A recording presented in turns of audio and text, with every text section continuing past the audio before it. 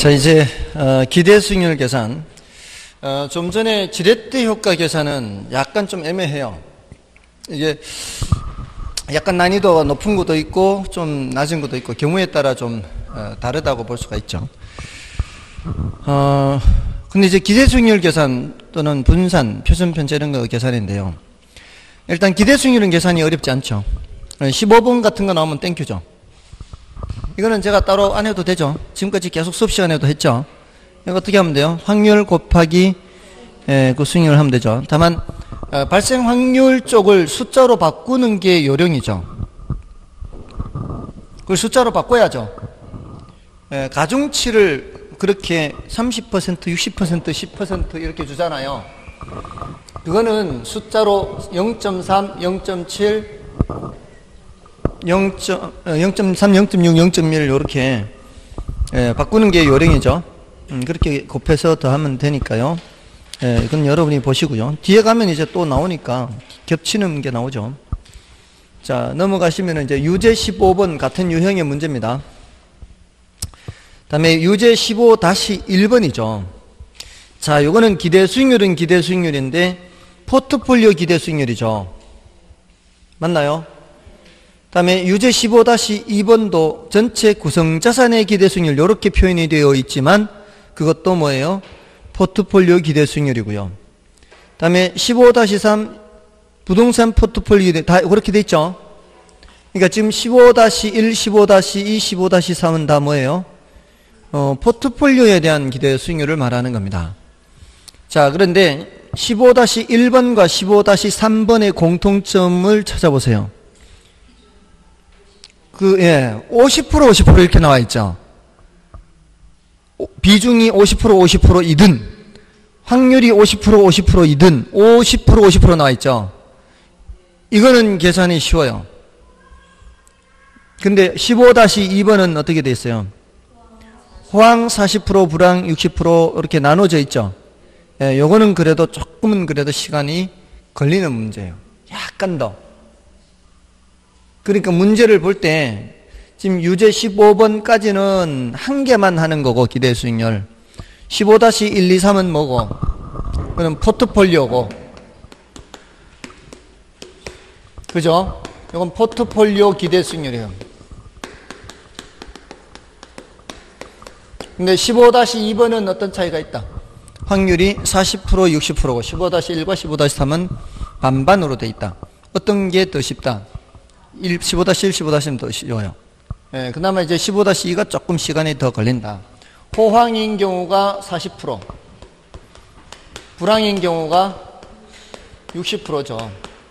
그리고 에, 오피, 상가 오피스텔 아파트, 상가 오피스텔 아파트 이렇게 돼 있죠. 그 투자 비중이 몇 프로 몇 프로예요? 20, 30, 50 이렇게 돼 있죠. 20%, 30%, 50%. 근데 호황일 때 상가는 20% 여기가 10% 오피스텔은 25% 10% 아파트는 10% 8%자 이거를 일단 먼저 뭐를 해야 돼? 각각의 기대 수익률을 해야 되죠. 각각의 기대 수익률 일단 요때는 얘를 써먹는 거 아니죠. 각각의 기대 수익률을 할 때는 요거 가지고 가중 평균 해야 되죠 이때도 마찬가지 이걸 숫자로 바꿔야죠. 그럼 0.4 곱하기 20 하면은 8%죠, 8%. 더하기 0.6 곱하기 10 하면은 6%가 되겠죠. 그러면은 14%. 여기 이제 상가의 기대 수익률이죠. 그 다음에 요거 오피스텔 기대 수익률 0.4 곱하기 25 하면은 10% 더하기 요거 6% 그러면 16%. 다음에 0.4 곱하기 10% 하면은 4%. 더하기 0.6 곱하기 8% 하면은 4.8%. 그럼 8.8%. 맞나요? 자, 이렇게 하고서 이제 다시 또 가중치를 예를 사용하는 거죠. 이것도 0.2, 0.3, 0.5 이렇게 에, 바꿔야 되겠죠. 그래서 가중치를 또 사용하는 거죠. 그러니까 가중평균을 여러 번 하는 거죠. 가중평균을 여러 번 하니까 시간은 조금 더 걸리지만 난이도 자체는 없지 않죠. 많이 이해를 해야 된다거나 이런 건 없잖아요. 0.2를 곱하면은 2.8% 여기 0.3을 곱하면은 4.6% 0.5를 곱하면 반이니까 반은 4.4% 맞나요? 다음에는 어, 1.4 어, 맞나요? 4.8인가요? 4.8이죠. 그죠? 16, 20, 0, 2 올라가고 4, 4, 4, 12, 12.0% 이렇게. 어때요?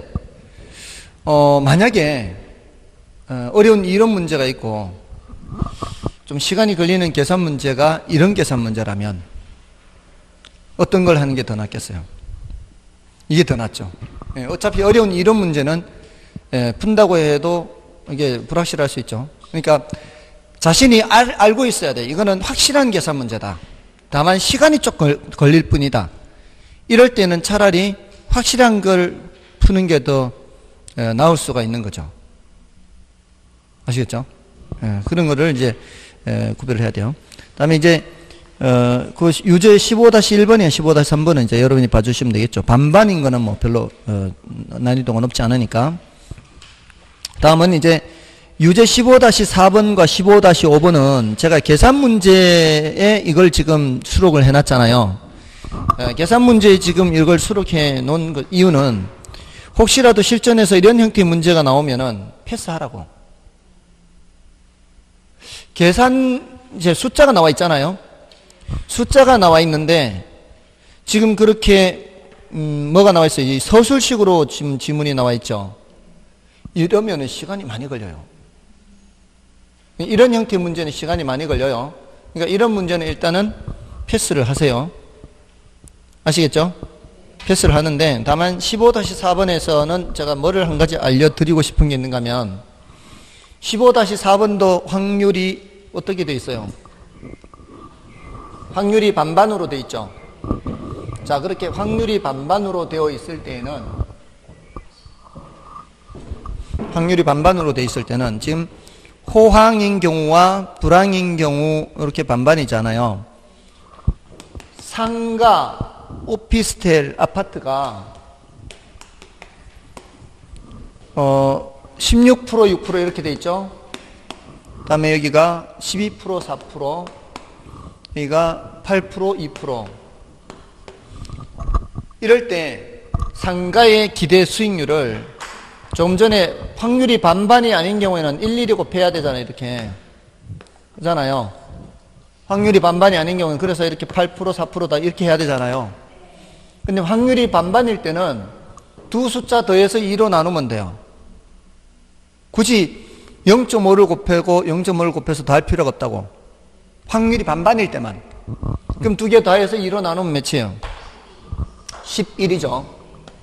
여기는 8, 여기는 5죠. 자, 확률이 반반일 때는 이렇게 쉽단 말이에요. 간단하단 말이에요. 항상 확률이 반반일 때는 두 개를 더해서 그냥 1로 나누면 돼요. 그런데 확률이 반반일 때는 표준 편차도 쉬워. 문제에서 표준 편차나 분산을 물으면 푸는 거라 그랬어요. 패스하라 그랬어요. 패스하라 그랬죠. 확률이 반반일 때만 예외예요. 확률이 반반일 때는 표준 편차가 이 표준 편차는 분산에다가 루트를 씌워야 되잖아요. 분산에 루트 씌운 게 표준 편차거든요. 평소에는 풀어요, 안 풀어요? 안 푼다고, 평소에는.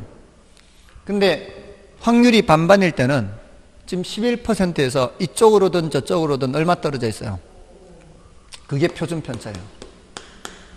여기는 4, 이게 표준 편차예요. 여기는 3, 이게 표준 편차라고. 그래서 그 문제의 경우에는 15-4번 같은 경우에는 상가의 위험은 몇 프로? 5%. 오피스텔의 위험은 4%. 아파트의 위험은 3%. 이걸 계산할 수 있다 없다? 계산할 수 있다라는 겁니다.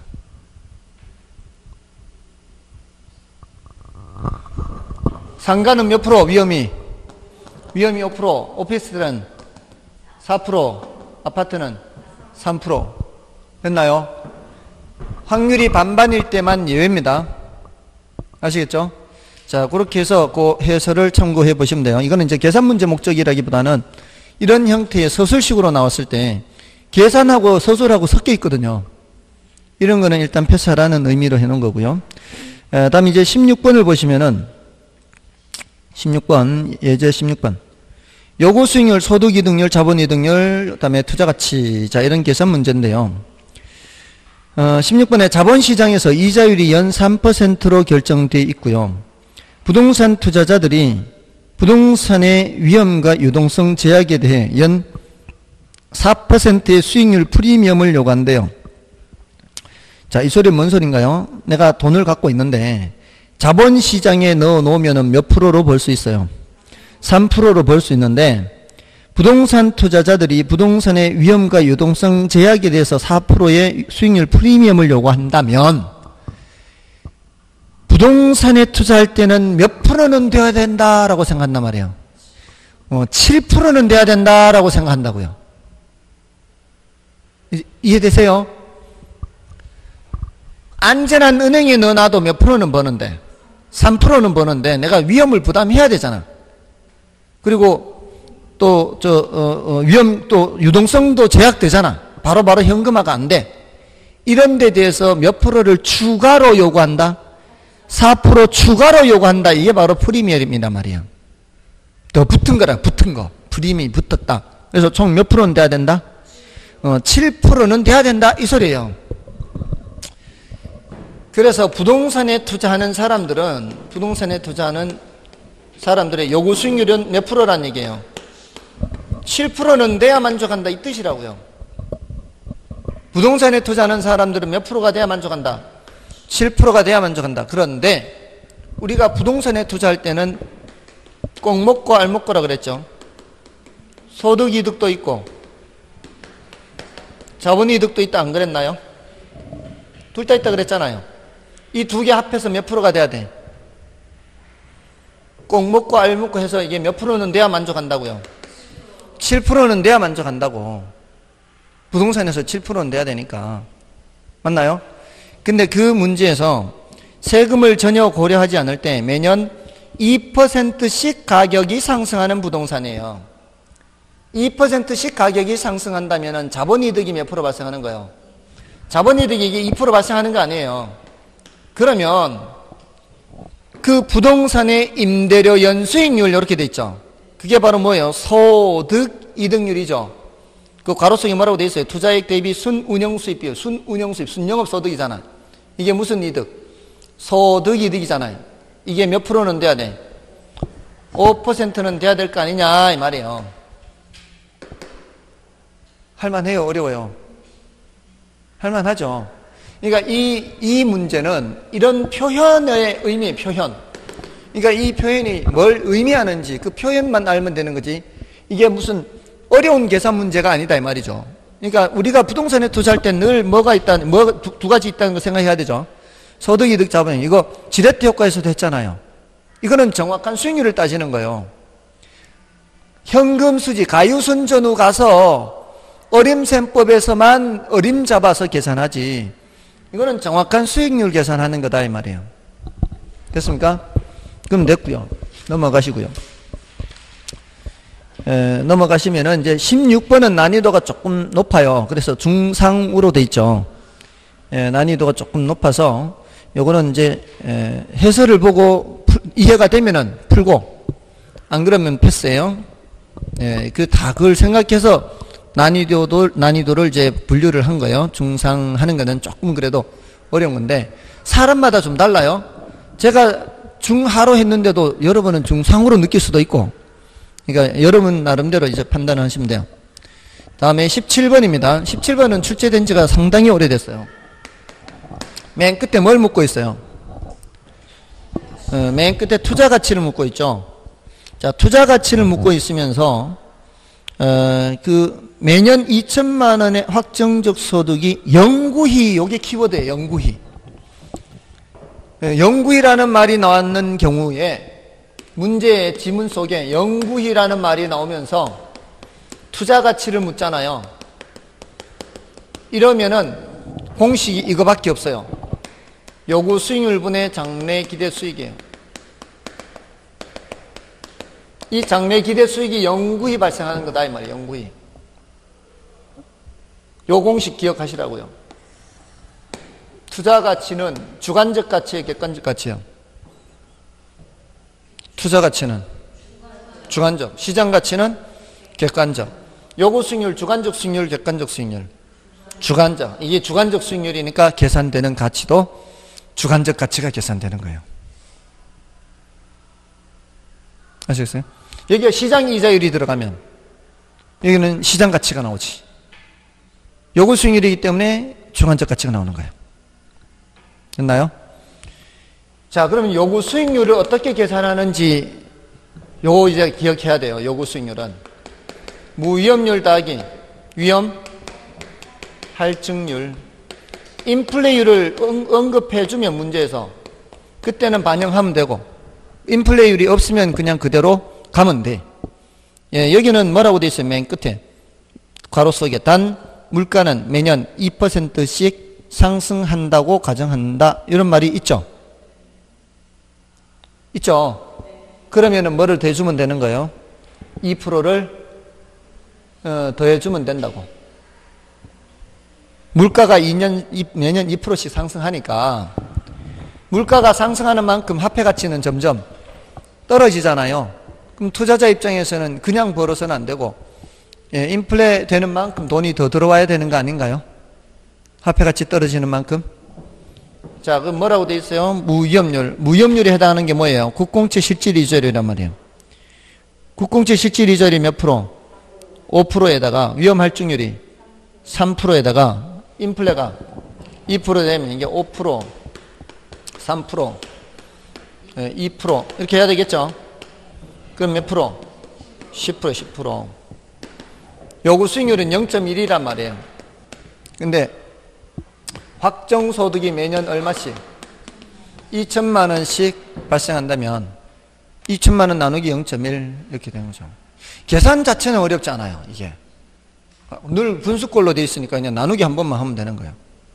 2억이죠, 2억. 근데 계산 자체는 어렵지 않지만 이제 이걸 계산하는 과정이 요구 수익률을 이렇게 알아야 되니까 무위험률 더하기 위험할증률 더하기 네, 인플레이율 이렇게 해서 됐습니까? 자, 17번은 이제 여러분들이 봐주시면 되겠죠. 자, 18번도 출제된 지가 오래됐는데요. 자, 요거는 앞에 정보 가치 계산하고 유사요. 그 써놓으면 되죠. 정보 가치 계산 유사. 정보 가치 계산과 유사입니다. 근데 이제 여기서는 정보의 현재 가치를 계산하는 게 아니라 정보를 모르는 거예요. 지금 현재. 정보를 몰라서 제가 이렇게 왔다 갔다 하면 실장님이 굉장히 어려울 거예요. 저를 잡으려고 화면으로 잡아야 되잖아. 지금 저 왔다 갔다 하면 이제 오잖아, 봐. 왔다 갔다 하니까 화면이 왔다 갔다 하잖아, 지금 카메라가. 예, 어떤 때는 저 이렇게 하면 이제 자꾸 저를 잡잖아, 이렇게. 근데 어떤 때는 저게 제가 음, 예? 움직이면 그러니까 제가 움직이면 안 되는데 근데 안 움직일 수 없잖아요. 이게 지워야 되고. 근데 어떤 때는 저 내가 움직이는데도 화면이 안 움직이잖아요. 그러면 실장님이 졸거나 지금 그럴 때는 저게 안 움직일 수 있죠. 그러면 제가 속이 이렇게 숨잖아요. 이렇게. 숨으면은 이제 저를 찾느라고 계속 왔다 갔다 하는 거죠.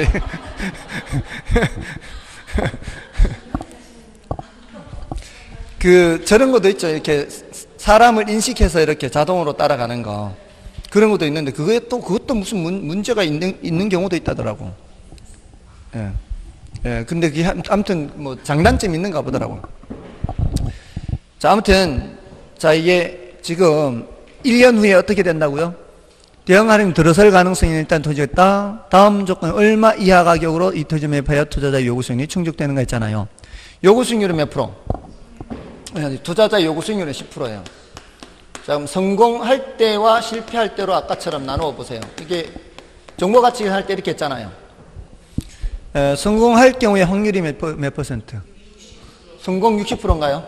실패는 그러면 자동으로 40%. 성공할 때의 예상치는 얼마예요? 60억인가요? 이제 확률이고 60억 여기는 20억이죠. 자, 지금 이거는 정보가치 계산처럼 이렇게 들어설 거를 알고 모르고 이런 걸 묻는 게 아니잖아요. 알고 모르고 이렇게 물으면 그거는 정보 가치 계산을 하는 건데 지금 이거는 이렇게 될 여지가 있는 이 물건이라면 이 사람은 이 물건을 몇 퍼센트, 저, 얼마로 예상하느냐를 따지는 거냐. 그냥 정보를 모르, 모른다는 전제하에요. 이건 정보를 아는 게 아니죠. 이건 아예 정보를 모른다고 생각하고 이러할 가능성과 이러할 가능성을 다 반영해서 1년 후에 얼마가 된다라고 생각하는 거예요. 이 사람은 66이 36 더하기 4, 2, 8 하면 얼마요? 44억이 된다라고 생각하는 거죠. 평균적으로. 1년 후에. 여기 왜 이렇게 나온지는 아시겠죠? 예, 가정평균 66이 36, 428.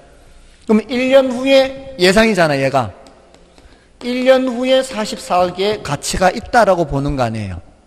그러면 현재 얼마의 가치가 있는 거예요, 현재?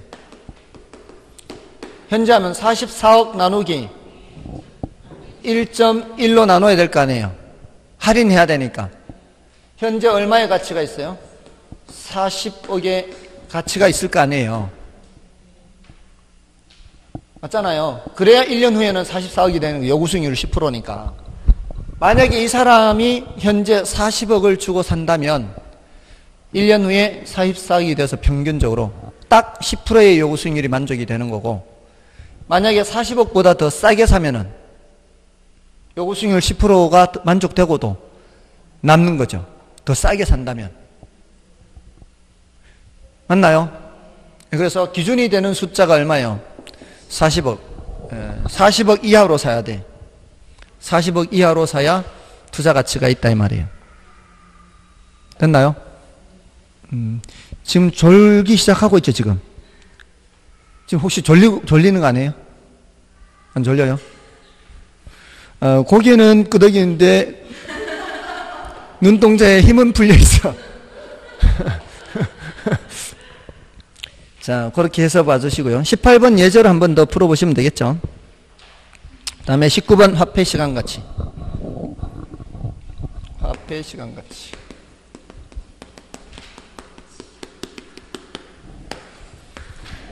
자, 이 화폐 시간 가치에서는 일단 일시불이냐, 일시불이 아니냐. 일시불이면은 한 번이잖아, 한 번. 이때는 뭔 개수가 필요해요? 일시불의 내가 개수. 이 정도의 공식은 암기해 두시라 그랬죠. 미래 돈을 알고서 현재 돈을 계산할 때는 일시불의 현가 개수 1 플러스 R의 N승으로 나누기를 하거나 요거의 역수를 곱하기 하거나 관계없죠. 맞나요? 이걸 곱하기 하거나 나누기 하거나. 그 다음에 이런 경우에는 뭐가 필요해요? 매기간 불입되는 금액이 있어. 이럴 땐 뭐가 나와야 돼, 일단? 연금이 나와야 돼.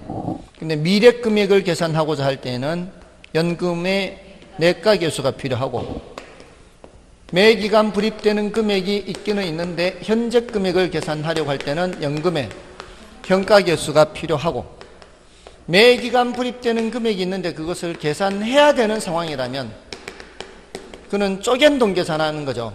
미래돈을 알고 쪼갤 때에는 감채기금 개수 현재 돈을 알고 쪼갤 때에는 저당 상수잖아요. 일단 이론적으로 돼 있어야 돼. 아시겠죠? 자, 그 다음에, 근데 이제 이론, 이론적으로 돼 있어야 되는데, 실제로 계산할 때는 이런 공식을 사용하는 경우가 많지는 않아요. 많지는 않아요. 자, 19번을 보겠습니다. 자, 19번은 투자자 갑은 부동산 구입 자금을 마련하기 위하여 3년 동안 매년 연말하죠. 3년 동안 매년 연말 하면 일단은 세 칸을 그려야 돼요. 한 칸, 두 칸, 세 칸. 3년 동안 하니까. 그러면 3천만 원씩, 3천만 원씩 이렇게 하고 있죠. 그럼 3천만 원씩을 쓰는 거지. 자, 쓴다면 이걸 이론으로 한다면 이거 일시불이에요, 일시불이 아니에요. 아니죠. 연금이에요. 목돈 계산하는 거예요, 푼돈 계산하는 거예요. 목돈 계산하는 거죠. 근데 그러면 연금이 나와야 되는데 언제 목돈을 계산하는 거예요? 3년 후니까 미래 목돈이죠. 그러면 이론적으로 이거 무슨 개수가 필요해요? 연금의 내가 개수가 필요하죠. 몇 년짜리? 3년짜리가 필요해요. 자, 근데 이거를 우리는 이론적으로 하자면 그렇게 하는데 이걸 직접 계산하란 말이에요. 이걸 직접 이 정도는 직접 계산해야 돼요. 그러니까 계산기가 필요한 거예요. 계산기가. 자, 근데 조심해야 되는 게 여기까지 와서 합산이 돼야 되잖아요. 그럼 요 돈은 여기까지 오는데 몇 칸을 오른쪽으로 와요? 두 칸을 오른쪽으로 와요.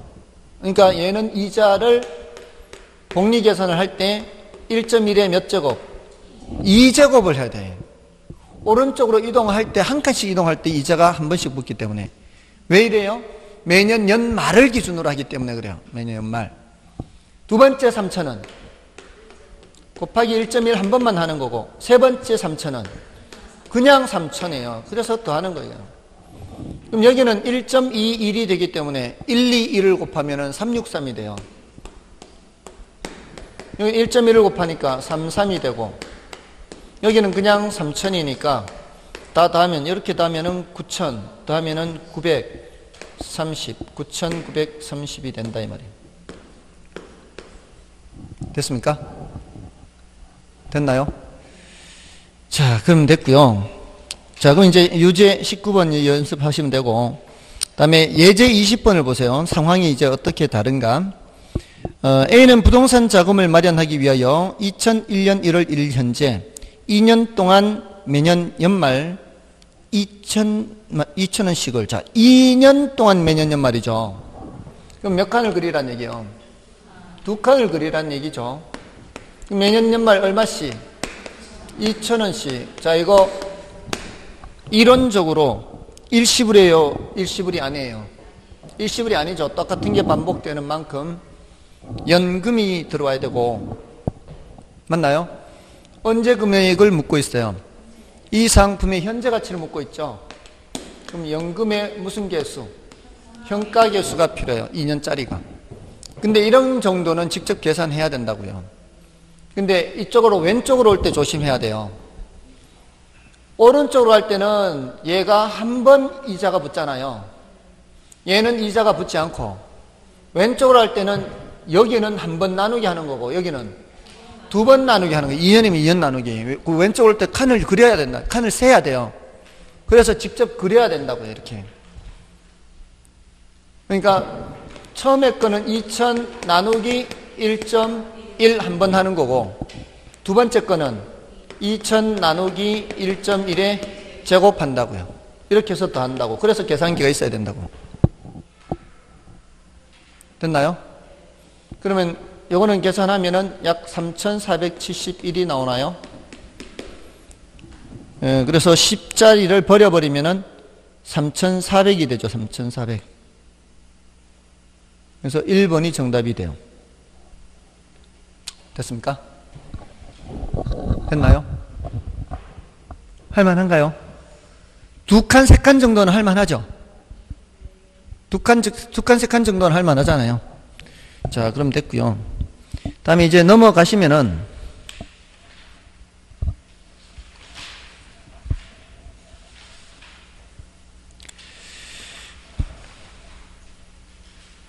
자, 넘어가시면은 어, 뭐를 하나 보시면 되는가 하면은 그 뒤에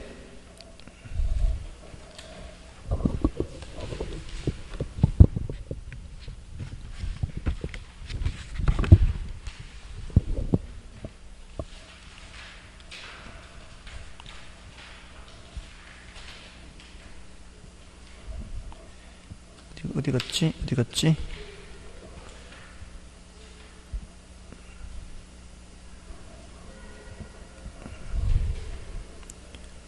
어, 187쪽을 보세요. 187쪽에 20번 문제 보세요. 20-1. 187쪽에 20-1번 보시면은 그 5년 후 1억 원의 현재 가치 하고 있죠. 어, 이런 경우는 5년 후 1억이면은 여기에다가 1억을 써놔야 될 거 아니에요. 그죠? 근데 요거를 현재 가치 묻는 거죠. 이론적으로는 뭐요?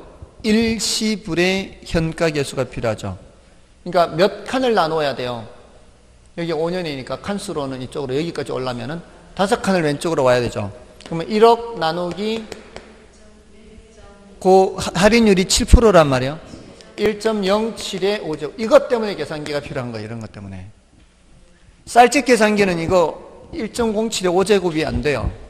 1.07을 나누기 다섯 번 해야 돼. 이거 시험 치는 중에 다섯 번 언제 누르고 있어, 이거를. 그죠? 요거 계산기 어떻게 누는지 알려드렸었나요? 요거, 요거, 이, 이거. 혹시 알려드렸어요, 제가? 알려드렸어요? 음, 요거 x의 y제곱 요렇게 돼 있거나 계산기에 yx 요렇게 돼 있거나 어떤 계산기는 요렇게만 돼 있어요, 요렇게. 버튼이. 버튼이. 어떤 계산기는 음, x의 네모 이렇게 해서 여기가 색깔이 칠해져 있어요. 버튼이.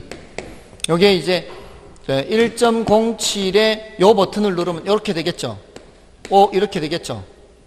예, 버튼을 누를 때 요거 누르면은 요, 이렇게 누르면은 이제 1.07에 5제곱이 계산된다 이 말이에요. 1.07에 요 위에다가 이렇게 해도 관계없어요.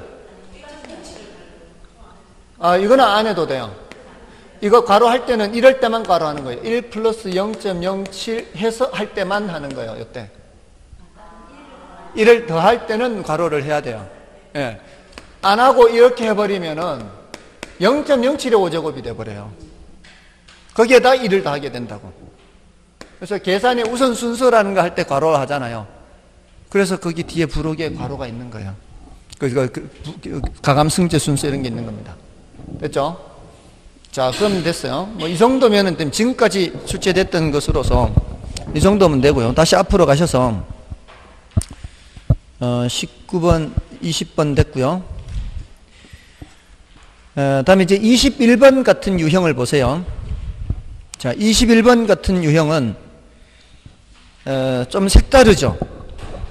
다음 현금 흐름표를 기초로 계산한 순현재 가치는 이렇게 돼 있잖아요.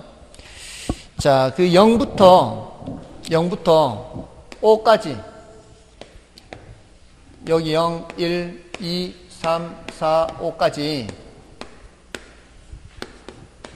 어떻게 되어 있는가? 여기 지금 천만 원이 나가죠? 여기 130 들어오죠? 130 들어오고, 130 들어오고, 130 들어오고, 여기는 1430이 들어오죠. 자, 똑같은 금액이 반복해서 들어오는 거는 뭐를 적용해야 돼요? 연금 적용, 연금. 똑같은 금액이 반복될 때는 연금이 나와야 되잖아요. 이거 몇 개가 반복되고 있어요? 음, 그럼 연금에 무슨 개수 몇 년짜리가 필요해요? 똑같은 게 4개 반복되면은 4년짜리가 필요해요. 똑같은 게 4개 반복되면은. 똑같은 게 반복되는 게 4번이니까 4년짜리가 필요하다고요. 아시겠어요? 근데 얘는 한 번만 발생하죠. 한 번만 발생하는 거는 일시불이에요. 언제 발생해요? 5년 후에 발생하니까 5년짜리가 필요하겠죠. 맞나요? 근데 지금 이 문제는 수년가를 묻는 문제죠. 수년가를 계산하려면 어떻게 해야 돼요? 유입현가합을 먼저 계산한 후에 뭐를 빼야 돼요? 유출현가합을 빼야 되잖아요. 근데 나가는 돈은 어차피 지금 나가는 거니까 이거 그냥 빼면 돼요. 이거. 근데 얘네들을 뭐로 바꿔야 된다는 뜻이에요. 현재 가치로 바꿔야 된다는 뜻이거든요. 근데 얘는 연금의 현가계수 몇 년짜리가 필요해요? 4년짜리가 필요하고 얘는 일시불의 현가계수 몇 년짜리가 필요해요?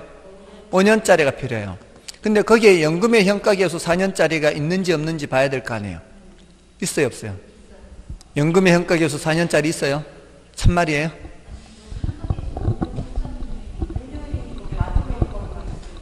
일시불 현가계수 5년짜리만 있죠? 연금의 현가계수 4년짜리 있어요, 없어요? 5년짜리 있죠. 연금의 현가계수 4년짜리 없죠. 그게 이 문제의 키포인트예요. 우리는 뭐가 필요한데? 연금의 현가계수 4년짜리가 필요한데 문제에서는 연금의 현가계수 4년짜리를 안 주고 연금의 현가계수 5년짜리를 줬죠. 그 소리는 어, 요거를 요렇게 바꾸란 뜻이에요. 여기 보세요. 여기 요렇게 바꾸란 뜻이에요. 1400을 1300과 130으로 바꾸란 뜻이에요. 그러면은 130이 몇 개 들어오는 것으로 바뀌었어요. 다섯 개 들어오는 걸로 바뀌었죠. 이제 이 130에 대해서 연금의 현가계수 5년짜리 적용하라는 뜻이에요.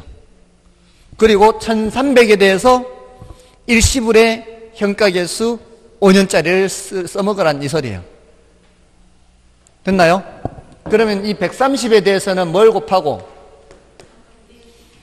3.79079를 쓰란 얘기예요. 연금의 현가계수 어, 죄송합니다. 4.4.212 이거 써먹으란 뜻이에요. 그 다음에 1300에 대해서는 뭐를 쓰고 0.747 써먹으란 뜻이에요. 됐나요? 그러면 이제 이런 거는 계산기가 있어야죠. 다음 얼마 나오나요?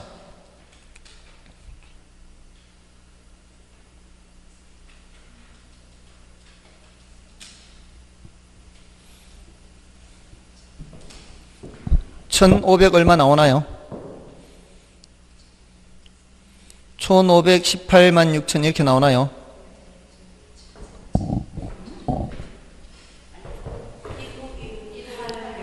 나오죠, 그렇게. 15186600 나오지 않나요? 맞죠? 1518만 6600은 나오잖아요. 그러니까 여기 단위, 여기 1518 소수점 이렇게 되겠죠? 1518만 이렇게 될 거니까. 맞나요? 1518만 6600은 이렇게 나온다고요. 단위가 만. 여기서 뭐를 빼야 돼요? 천을 빼야 되니까 51866 나오겠죠. 됐습니까? 그와 같은 방법으로 풀면 된다 이 말이에요. 그래야 수년가니까. 들어오는 돈의 가치를 다 더했잖아요. 1518.66이 유의평가 합이다 이 말이에요. 유의평가 합에다가 뭘 빼야 되는 거 이제? 유출평가를 빼야 수년가가 되니까. 자, 이 과정에서 이론도 더 확실해지는 거죠. 수년가는 어 떻게 계산한다?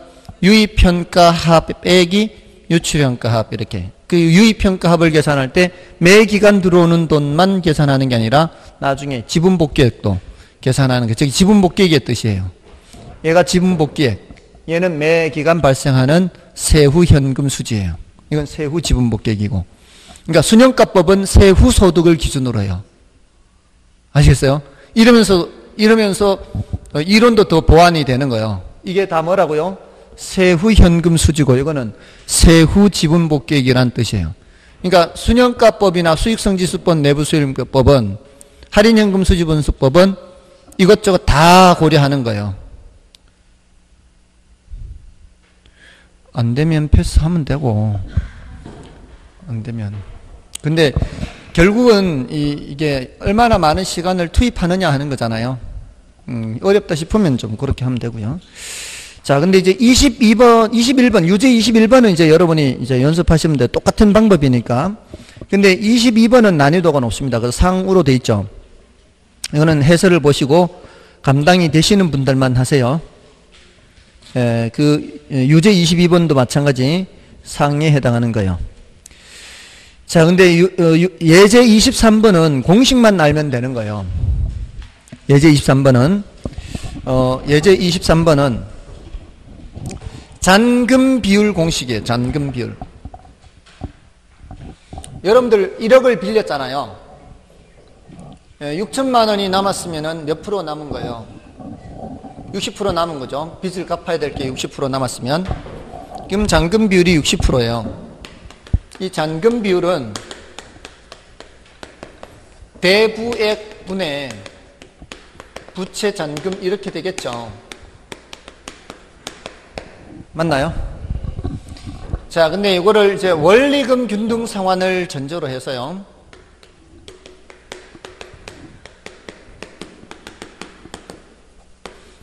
잔금 비율은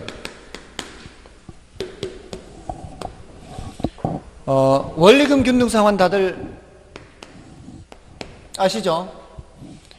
어, 지금 내가 1억을 빌려서 매년 말 A씨 A만큼 A A A 이렇게만큼 곱해서 저, 저 갚으면은 에, 다 갚게 되는 이게 원리금 균등액이 A라고 쳐볼게요. 그럼 이 A를 계산하기 위해서는 이래다 뭘 곱해야 돼요? 음, 저당 이건 이제 많이 했죠. 저당 상 수를 곱해서 이 금액을 계산할 겁니다. 자, 그런데 내가 한 번을 갚았어. 한 번을 갚았으면 이제 10년이라면 앞으로 몇 번 남았어요? 요 시점에서 봤을 땐 9번 남았잖아요. 그럼 요 시점에 잔금을 계산하려면 요 시점에서 잔금을 계산하려면 앞으로 갚을 이 A만큼을 몇 번을 다시 현재 가치로 바꿔야 돼요. 요, 요, 요, 요 시점으로 바꿔야 되잖아요. 맞나요? 요 A에다가 몇 년치? 9년치. 9번이니까. 9년치의 연금의 현가 개수를 곱해야 돼. 얘를 계산하려면은. 그러면 현재 목돈이 나올 거 아니에요. 연금의 현가 개수는. 그럼 뭐가 계산이 돼? 잔금이 계산돼, 잔금이. 연금의 현가 개수를 이용해서 뭘 계산한다? 잔금을 계산해요. 근데 이거를 연금의 현가 개수 10번을 다 적용해버리면 뭐가 될까요? 연금의 현가 개수 10년짜리를 적용해버리면 처음에 대출받은 금액이 나오겠죠? 맞아요? 그러니까 전체 기간에 전체 기간에 연금 현가 개수를 하면은 뭐가 나오고 대출 받을 때 그 금액이 나오는 거고 앞으로 9년 남았으면은 9년 남은 거에 연금의 현가 개수를 하면은 9년 남았을 때의 잔금이 되고 두 번 갚았어. 그럼 이제 8번 남았어. 그러면 8년의 연금 현가 개수 하면은 그러면은 8년 남은 잔금이 계산되는 거예요. 그러니까 남은 기간, 남은 기간의 연금 현가 계수하면은 남은 잔금이 계산된다고요. 그러니까 전체 기간의 연금 현가 계수분의 남은 기간의 연금 현가 계수를 이용하면은 뭐가 계산된다? 잔금이 계산돼. 이게 대출받은 원금이 계산돼. 그럼 대출받은 원금분의 잔금 이렇게 하면 뭐예요? 그게 잔금 비율이란 말이에요. 안 되면 외우면 돼요. 이게 왜 그런가 하면 이게 역수관계 때문에 그래요. 연금 현가 계수하고 저당 상수는 무슨 관계? 연금 현가 계수와 현저 역수관계잖아요. 역수관계이기 때문에 그 푼돈 계산할 때는 저당 상수를 계산해서 이게 매달 갚아나간 원리금 균등액을 계산하지만 반대로 남은 잔금을 계산할 때는 이쪽으로 오는 거니까 저쪽으로 쪼갠 게 아니고 이쪽으로 합산되니까 역수를 이용해서 연금의 현가 계수를 이용한다고요. 그래서 이거를 이론으로도 질문해요. 연금의 현가 계수를 이용하면 잔금을 계산할 수 있다 없다. 잔금을 계산할 수 있어요. 연금의 현가 계수. 남은 기간의 연금의 현가 계수. 앞으로 남은 기간입니다. 3년 남았으면 3년 남은 기간의 연금 현가 계수. 4년 남았으면 4년 남은 기간의 연금 현가 계수. 그러면은 잔금이 나와. 그럼 저 대부액분의 잔금, 대부액분의 부채 잔금 이렇게 되는 거예요. 그러니까 결국 연금의 현가 계수만 있으면은 잔금 비율을 알 수 있다고요. 됐나요? 안 되면 외우세요. 잔금 비율은 남은 거 가지고 판단하는 거예요. 남은 거. 남은 기간 연금 현가 계수. 전체 중에서 남은 거예요. 전체 기간의 연금 현가 계수, 남은 기간의 연금 현가 계수. 이해가 안 되면 외우면 돼요. 자, 그러니까 23번에 15년간 매월 원리금 균등 상환 조건으로 연 10% 5천만 원을 융자 받은 경우 5년 후 융자 잔고를 개선하기 위한 했잖아요. 15년 대출 받았죠. 전체 15년 중에 5년 후 잔금이 5년 후 잔금 비율 5년 후 잔금 비율이에요. 그럼 얼마 남았단 얘기예요? 10년 남았단 얘기 아니에요. 그럼 어떻게 계산하라고요? 15년의 연금 현가 계수분의 몇 년 연금 현가 계수? 남은 10년의 연금 현가 계수 이렇게 하면 잔금 비율이 계산된다고. 15년의 연금 현가 계수 몇? 93이잖아요. 93은 분 뭐로 가고 남은 거 몇 년? 남은 거 10년. 10년이 76이죠. 그러면 76 하면 돼요. 93분의 76 됐습니까? 이런 뭐가 계산된다고요? 잔금 비율이 계산되는 거예요. 전체 기간 중에 남은 기간. 그러니까 공식으로 외우면 돼요. 그냥 어렵지는 않아요. 공식이. 예, 전체 기간 연금 현가 계수분의 남은 기간의 연금 현가 계수다. 그리고 이런 질문을 했을 때 연금 현가 계수를 이용하여 잔금을 계산할 수 있다 없다? 계산할 수 있다. 다 이거 연금 현가 계수 가지고 이용하는 거죠. 자, 됐나요? 자, 오늘 마지막 주제가 현금 수지 측정의 24번, 예제 24번이에요. 자, 이런 형태의 계산 문제는 쉽습니다. 이런 형태의 계산 문제는 쉬운데 다만 세후를 물으면은 시간이 좀 걸린다 생각하면 돼요. 세후. 아시겠죠? 뭐는 할만한데 순영업 소득만 계산하면은 할만하죠. 그래서 24 예제 24번 요거는 이제 할만하단 말이에요. 이거는 순영업 소득 계산할 때 유효에서 출발하잖아요. 유효에서 출발할 때는 경비만 빼면 될 거 아니에요. 그럼 뭐가 나와요? 순이 나오는데 경비에 포함되는 항목과 포함되지 않는 항목만 구별하면 되죠. 포함되는 항목에 조사, 조심해야 되는 게 뭐가 있다 그랬어요. 포함되는 항목에 조심해야 되는 거 재산세 있다 재산세. 재산세는 영업 경비에 포함된다는 걸 조심해야 되고 포함 안 되는 거는 그 위아래에 있기 때문에 포함 안 되는 거 말고도 포함 안 되는 감자 속에 포함 안 된다 그랬잖아요. 이거 조심하면 되는 거지. 자, 그러면 거기 유지관리비 포함돼요, 안 돼요? 포함돼요. 계산해야 되고, 화재보험료 포함되고 계산해야 되고, 소득세, 이거는 제거해야 되고, 수도료, 전기료, 재산세 포함되죠. 부채 서비스세 제거해야 되죠.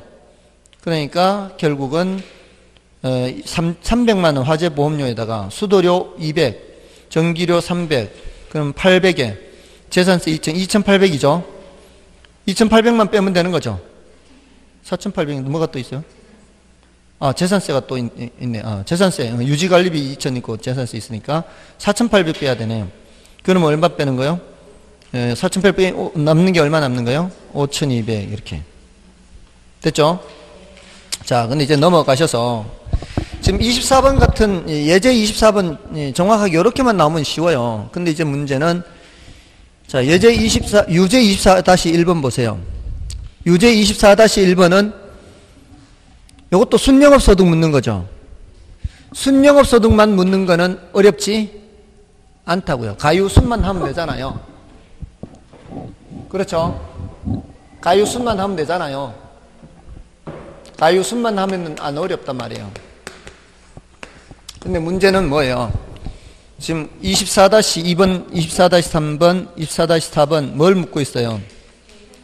세후 현금 수지를 묻고 있죠. 24-4. 근데 묻는 게 뭐가 더 많아요? 세후를 묻는 게 더 많죠. 24-2, 3, 4가 다 세후를 묻죠. 그죠? 자, 그거는 시간이 조금 걸린다는 걸 감안해야 돼요. 예, 그것도 이제 한 문제 풀어볼 건데 먼저 24-1번을 보세요. 순영업 소득 계산하는 거죠. 가유 순전후 알면 되잖아요. 그러면 가능총 소득이 얼마예요? 유, 유효 임대 면적 비율이 80%가 있기 때문에 건축 연면적을 다 임대할 수가 없죠. 그러면 1800제곱미터에다가 곱하기 0.8을 해야 이게 예, 임대 면적이 되는 거예요. 그죠? 근데 그 임대 면적을 다 임대한다라고 봐야 가능총 소득이죠. 근데 연평균 임대료가 5천 원이잖아요. 곱하기 음, 5천 해 이게 가능총 소득이에요. 아직 계산은 안 해도 돼요. 왜냐하면 밑에 공실률이나 영업 경비율 이런 거를 다 보면은 계산기 두드리기가 쉬울 수 있어요. 그냥 다 해놓고 푸는 게 공실률 10% 있죠. 공실률 10% 있다는 얘기는 1800 곱하기 0.8 곱하기 5000 곱하기 0.9 하면 돼요. 0.9. 10%를 빼란 얘기는 곱하기 0.9를 하는 것과 같아요. 거기에다가 영업 경비율이 유효 총소득의 50%잖아요. 유효를 요거 계산한 거죠, 지금. 계산했다고 치면은 1800 곱하기 0.8 곱하기 5000 곱하기 0.9 곱하기 0.5 이렇게 하면 되는 거예요. 그러면 계산기 두드릴 때 다 두드리지 말고 18 곱하기 8 곱하기 5 곱하기 9 곱하기 5만 하면 된다고. 다 곱이나 나누기로만 돼 있을 때는 다 두드릴 필요 없어요. 그래서 나중에 계산하는 거로 미리, 미리 계산하지 말고 미리 계산하면 할 때마다 두드려야 되잖아요. 그건 다 해놓고 뭐만 하면 된다고 곱으로 돼 있을 때는 18 곱하기 8 곱하기 5 곱하기 9 곱하기 5 이러면은 계산기 두드리면은 얼마 나오나요? 32400 나오나요 이렇게? 그죠? 그러니까 순서만 맞으면 되니까 순서만 맞으면 되니까. 자, 다음에 24-2, 24-3, 24-5, 요 세 가지 중에 하나만 풀어볼게요. 어떤 걸 풀까요? 나머지는 여러분이 보시고. 2, 3, 4 중에. 24-2, 24-3, 24-4 중에. 뭘, 마지막? 24-4. 자, 오늘 마지막 문제입니다. 자, 24-4. 지금 이게 세후가 다 포함되어 있는 계산 문제예요. 그러니까 이 계산이 세후까지 계산을 해야 되는 거는 일단 맨 그, 그 자료 속에 문제 세율이 있는지 없는지 보세요. 자료 속에 세율이 있죠. 세율이 있다는 얘기는 영업소득세를 내가 직접 계산해야 된다는 뜻이에요. 그거는 시간이 좀 걸릴 수 있다는 뜻이에요. 그러니까 가유순전후를 써놓고 그 옆에 매순 전후를 써놔야 돼요. 이렇게 하고 출발해야 돼. 자, 가능총소득이 얼마예요? 600만 원에 40% 하면은 600만 원 곱하기 40% 단위는 만 원이요. 2억 4천만 원이죠. 맞나요? 공실률 10% 반영해야죠. 유예 내려갈 때는 유예 내려갈 때는 2억 4천만 원 곱하기 0.9 하면 되죠. 그럼 얼마예요? 21600 나오나요? 4936, 9221 이렇게 21600 나오죠. 근데 운영 비용이 1600만 원 있죠. 운영 비용 1600만 원 빼면은 순영업 소득이 얼마? 2억이 나오겠죠. 2억 1600에 1600을 빼면 순이 2억이에요. 그러면서 순에서 전으로 내려가려면 뭐를 빼야 돼요? 순에서 정갈 때는 빚을 갚아야지. 지금 방금 경비 뺐잖아. 경비 빼고 빚을 얼마 갚아야 돼요? 9천 갚아야 돼요? 1억 천을 갚아야 돼? 지금 9천 안에 이자가 다 포함되어 있죠? 9천 안에 이자가 2천 포함되어 있기 때문에 이, 자 2천을 또 빼면 안 돼. 꼭 이렇게 질문하시는 분이 계십니다. 또 나중에 왜 2천 안 빼냐고. 지금 원리금 9천 안에 다 포함되어 있단 말이에요. 그럼 얼마예요? 1억 천 이게 세전이에요. 그 다음 세후를 빼야 돼. 세후를 만들면 영업소득세를 계산해야 되잖아요. 이게 지금 계산을 해야 된단 말이에요. 몇, 몇 순전이가 아니고 왜? 몇 순전을 적어놨어요? 음, 순대이감을 적어야지. 바보같이. 여러분들은 이상하다고 생각 안 했나요? 네? 어, 말을 할 새가 없어서 속으로 얼마나 답답했을까. 순대이감, 세대원감 해야 되는데. 아, 아 죄송합니다. 음, 저 인간이 저럴 때도 있고. 자, 아무튼 순대이감 여기에 써놔야 돼요. 음, 순대이감 써놓고 지금 순영업소득 여기 2억 계산했잖아요. 이걸 이렇게 해야 이렇게 바로바로 바로 갖다 쓸 수 있거든 이렇게. 그럼 2억을 써놓고 대체충 당금은 언급이 없으니까 안 해도 되고요. 이자 비용 아까 얼마 있었어요? 2천이 있었죠. 감가상각비 얼마라고 돼 있나요? 천이 있나요? 그러면은 얼마 빼는 거예요? 3천 빼죠? 그러면 1억 7천만 원 빼죠? 1억, 1억 7천만 원 남죠? 여기 곱하기 뭘 하는 거예요? 세율 30% 0.3 그럼 얼마? 5,100만 원 이렇게 되죠. 그럼 요 5,100을 여기다 집어넣는 거죠 이제. 5,100을 계산해서 집어넣는 거란 말이에요. 그래서 5,900 이렇게 되는 거예요. 그래서 계산이 4번이 틀렸죠. 4번이 영업소득세가 5,100인데 영업소득세 5,100인데 5,000으로 돼 있죠. 맞나요? 음, 그렇게. 시간이 조금 걸리죠? 시간이 조금 걸리는데, 이걸 연습을 안 하면 안 돼요. 우리 시험에 이것만 묻는 문제가 아직 안 나왔거든요. 순대 이감해서 영업소득세만 묻는 문제 나오면 어떻게 시간이. 요것만 묻는 거. 순대 이감만 묻는 거. 이거는 시간이 많이 안 걸리죠. 근데 이게 감정평가사 시험에 먼저 나왔어요. 우리 시험에서도 이거 나올 가능성이 상당히 높다 이 말이에요. 그러니까 순대 이것만 계산하는 그런 문제이거나 순영업 소득까지 계산하는 문제이거나 이런 것들은 시간이 많이 걸리지 않는다. 그런 것들은 해둘 필요가 있다. 그리고 조금 더 숙달된 사람들이라면 뭐도 계산할 수 있다. 세후도 계산할 수 있다. 됐죠? 다음 주에 25번부터 하겠습니다. 네, 애쓰셨습니다. 감사합니다.